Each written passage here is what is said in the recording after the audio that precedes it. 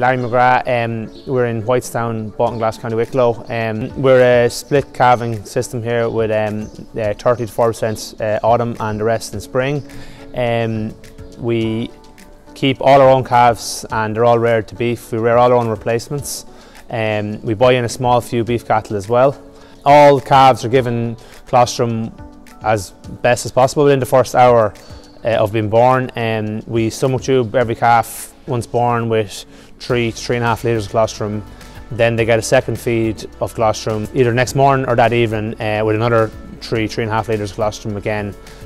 Two to three years ago we, start, we used to always feed whole milk and we just decided that um, from a price point of view as well as a health point of view we decided that um, milk replacer would be a more consistent feed for the calves. Um, you can find that the, the whole milk is a little bit rich for them and we were getting a lot of problem with scour especially in the spring calves so um, we decided that milk, the milk replacer would be a better option.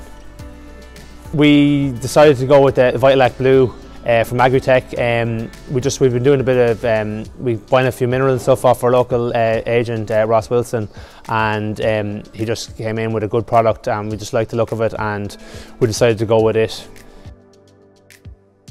My name is Ross Wilson, I'm a distributor with Agritech. I've been uh, working with McGraths since I started six years ago.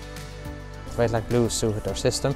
It's uh, the high dairy content and with the 15% skim there was good horsepower there to drive on the replacement heifers. Uh, no issues in the product, it's, it's very easy, just um, fill up your cart with your water, throw in your bag, it's mixed in 30 seconds, like there's no, never any hassle mixing it. Um, calves seem to love it, like weight wise I'd say they're up maybe 5 to 10, 10 to 20 kilos ahead, um, but mainly for calf health was our, is our main benefit of it. Like I think if you have healthy calves, they'll be up in weight anyway. So um, the scour was our biggest problem, so it seems to have reduced our scour dramatically, um, as well as other health issues as well. Like we don't seem to be getting as much sickness in total. Like.